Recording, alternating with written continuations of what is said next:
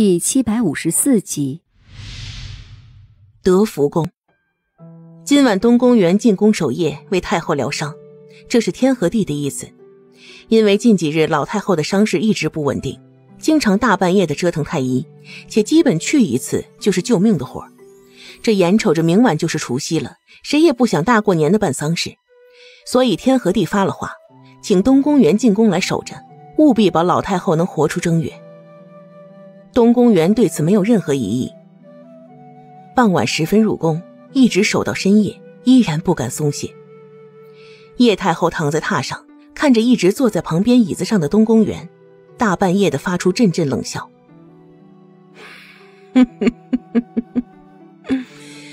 东宫元，你不如干脆一针扎死哀家，这样哀家也痛快。”你也不用总在这守着。叶太后的声音苍老又沙哑，在这样寂静的夜里，听起来就像是地狱里爬出来的恶鬼，让人不由自主的浑身战栗。东宫元，哀家知道皇上的意思，正月里办丧不急，所以他拖也要把哀家的命给拖到出了正月。可是你就愿意一直在这里守着哀家，你不回家过年了？东宫元很不喜欢这个声音，听着就皱了眉，可又不能把这老太太的嘴给堵上，便只能由着她念叨，念叨来念叨去，无外乎就是与其这么痛苦，不如给他一针来的干脆。可惜他没有死的权利，他也没有给他一针的权利。何况东宫元知道，这老太太其实根本就不想死，甚至在想尽一切办法继续活着。他是大夫，他能诊出一个病人在一心求死的情况下是怎么样的身体状态，也能诊出一个病人在求生欲极强的情况下又是怎么样的身体状态。这老太后分明是想活，想好好的活，所以即便身受重伤，即便筋骨尽断，她依然还有力气呼吸，还有力气说话。甚至还有力气运筹帷幄、暗动杀机。他盯着躺在床榻上的人，很想问问防守如铁桶般的德福宫是如何将消息传递出去的。可东宫元终究是什么都没说。他是医者，医者不问国事。上都城尊王府，君木林带着剑士洛修刚刚在府门前下马，洛修都没来得及去叩府门，就见夜幕中暗处闪出一人。直奔君木林的面前行了大礼，是殿下，皇上请您即刻进宫，出大事了。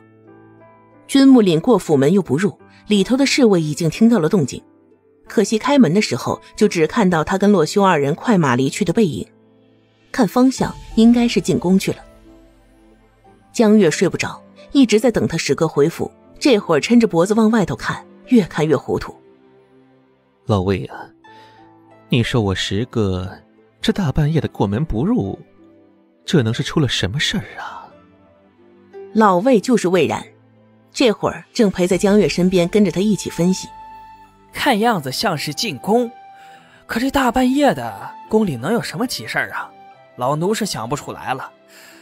该不会是因为明儿有宫宴，急着叫咱们殿下进宫一起去准备准备？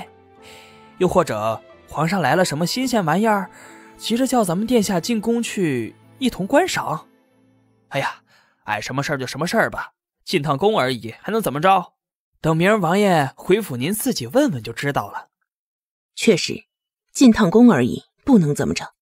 以前君木林也经常大半夜的被叫进宫，有时是因为有紧急军报，有时是因为有紧急政务，但更多的时候是老皇帝突然得了个好物件，忍不住要跟儿子显摆。还有小公主君灵溪又闹脾气，谁也管不了。只能叫他石哥进宫镇压，总归都是君家那点事儿，没什么好担心的。但今儿也不怎么着，江月就莫名的觉得心慌。他反身回府，告诉魏然：“反正我也是睡不着，不如我也进宫去看看吧。”魏然吓了一跳：“哎呦，我说小爷呀，您可消停一会儿吧。那皇宫是随便说进就能进的吗？您也不看看，这都什么时辰了？”三更半夜的，谁能放你进宫啊？你当你现在还和以前一样吗？如今对外放出去的消息，都是从前的小太监江月已经重病不治死了。你说这大半夜的突然出现，你是想把守宫门的禁军都给吓死吗？那我就在府里干等着。我真是不习惯啊！哼，以前天天住在皇宫里头，有个什么大事小情的，立马就能知道。现在可倒好，跟个傻子似的，什么事儿都靠猜。以前是以前，现在是现在。魏然苦口婆心的劝：“您要是实在睡不着、无聊，不如跟老奴去试试魏公宴新做的衣裳。明儿就要进宫了。”再出宫门，可就是十一殿下了，马虎不得。江月闷闷的回了府，心情不是很好，但也跟着魏然去试了衣裳。咱们王爷一回京就张罗着给您建府邸，想必用不了多久就可以搬家了。得了吧！江月一挥手，他一回京啊，就想着见媳妇儿，直接就奔天赐镇去了。那是当天晚上，第二天不是就回来了吗？府邸都给您选好了，就用以前三皇子府。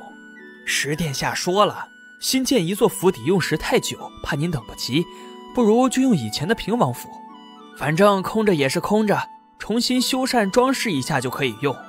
到时候就看皇上给您个什么封号，刻了匾额就挂上去。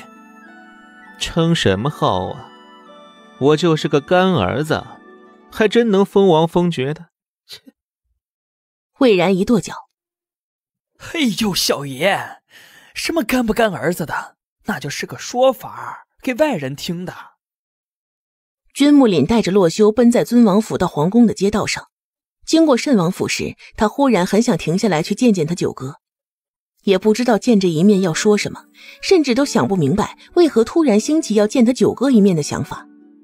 只是他忽然之间想到白鹤然所说的那种感觉，那种很强烈的不好的感觉。有了想法，策马的速度就降了下来。可直到马匹掠过慎王府大门口，又奔出了老远，也都没停。他到底还是没有停下来，到底还是放弃了去见他九哥。洛修觉出他的迟疑，以目光询问。君木林微微摇头，做了一个只有他们两个人才知道的动作。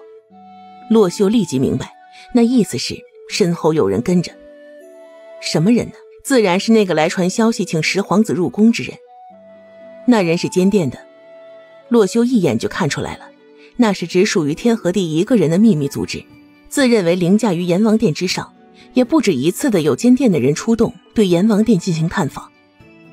说好听了是探访，说不好听了就是老皇帝不能对阎王殿完全放心。之所以阎王殿一直忍着。是因为他们自信能力在监殿之上，也自认为干净清白，所以面对监殿每隔段时日就来一趟的行为，也就都视而不见了，反而还装作一副不知道的样子。今晚又是监殿出动，洛修心里莫名的升起了一种不好的预感。按说十皇子进宫那是一件很平常的事，不管是白天他自己进宫去，还是大半夜的突然被急召，都是很平常的事。十皇子是老皇帝最偏疼的一个儿子，皇宫就是他父亲的家，儿子去家里又能有什么不好的？即便是那位父亲娶了很多后娘，可后娘也管不了皇子啊。洛修是带着迷茫的心绪跟着君木林一起进宫的，可惜他没进得了宫门。监殿那人给出的理由是：夜深了，侍卫不方便入宫，请在宫门外等候。这似乎也很有道理。洛修没有再多说什么，只是跟他的主子对视了一眼，然后默默的等在宫门口，默默的看着他家主子一个人走进了深宫。宫门又咣啷一声关起来了，洛修的心绪又开始烦躁。刚刚同他家主子对视的那一眼，他分明也从目光中看到了他家主子同样对这次被急召进宫的不解。但是不解又能如何？皇帝有诏，身为儿臣只能遵旨，刀山火海都得遵旨。君木林走在宫中的玉石路面，那个监殿的人不再隐藏身形，而是伴着他一起往明銮殿走。君木林又皱了眉。明銮殿是处理外政朝政的地方，是接见外臣的地方，是老头子白天里朝政繁多时逗留之处。一般来说，深夜被召入宫。凭他以往的经验，就算是老头子让他这个时辰进宫，应该也是在清明殿召见。清明殿是在内宫，多处理家事。可如今深夜往明鸾殿去，这是出了什么事？国事？他问身边的人：“为何去明銮殿？”监殿的人知这话是什么意思，于是赶紧答：“不瞒史殿下，是边关出事了。皇上得到消息，罗烨新君上位。”登基那日，便宣告要反了东秦了，不再向东秦朝贡，也不再认东秦为主。不仅如此，罗烨兵将集结，已经兵临城下，要将数年前被东秦夺走的一城再拿回来。什么？君木脸一愣，罗烨反了，他怎么不知道？监殿的人没有再说话，因为明鸾殿已经到了。十皇子想再问什么，直接去问皇上好了。他的任务已经完成，没有义务再做任何解释。监殿的人先一步进了明鸾殿，很快就听到殿内传来一个疲惫的声音：“灵儿，进来吧。”门外的太监将帘子掀开，君木林大步而入，一直到了内殿，方才看到一身疲惫、面容憔悴的他的父皇。他一愣：“这是怎么了？区区一个罗叶，反就反了。”大不了儿臣带兵去镇压，父皇至于急成这样吗？他就想不明白了。罗烨虽是藩国中大国，但还不至于镇压不住。天和地抬起头，看着走进来的这个最疼爱的儿子，重重的叹了口气：“哎，灵儿啊！”再招招手：“你过来，朕有话同你说。”他走上前，还是不解。到底怎么了？因为站得近了，老皇帝头上一片白发瞬间入眼，君木凛吓了一跳。怎么突然多出来这么多白头发？昨儿个还没这样啊！你这状态不对，有没有叫太医来瞧瞧？说完，转了身就要去宣太医，却一把被老皇帝给拽了住。瞧过了，没事儿。说是操劳的，操劳能一夜白了头发？君木凛同他父皇之间说话从来就没有太守规矩，何况这殿内就只他们父子二人。父皇，究竟发生了什么事情？就因为罗烨？老皇帝没点头，也没摇头，更没直接回答他的问话，只是抓了他的头，轻轻的拍了两下，再同他说：“灵儿啊。”父皇最疼你，虽然你下面还有个小失忆，但是朕一直把你当做最小的那个来疼。就是这个江山，朕也早就打定了主意，将来是要留给你的。那是将来的事，现在别扯那些。他顶不爱听关于传位的话题，传位传位，那个皇位别的皇子可以惦记，可以期盼，但是他从来不。因为他知道，当他坐上皇位的那一天，就是他父亲并天的日子。相比起皇位和至高无上的权力，他更在乎他的父亲。老皇帝泪眼婆娑，面上却挤了一个比哭还难看的笑。父皇明白，朕的灵儿是一个重情义的孩子，宁愿不要这个皇位，你也想要这个家，所以父皇才疼你。才认为你是最好的。父皇这辈子自认为对得住你，什么都想着你，什么好的都给你，也从来不让你为难。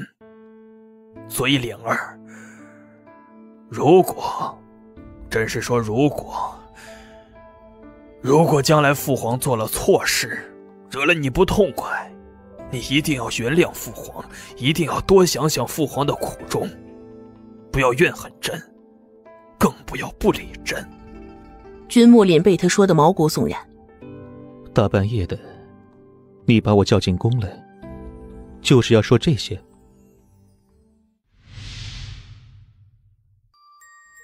听众朋友您好，我是主播小靠，这次在剧中演绎的角色是老神医夏阳秋。哎，老朽在这里祝大家吃嘛嘛香，身体倍儿棒。